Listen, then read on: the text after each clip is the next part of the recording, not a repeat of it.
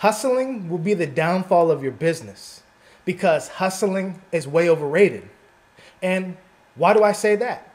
That's because hustling almost always leads to burnout. And essentially, a hustler is a burnt out entrepreneur that is one, underpaid, two, overwhelmed, and three, disorganized. So, a burnt out entrepreneur is underpaid, overwhelmed, and disorganized while building their businesses.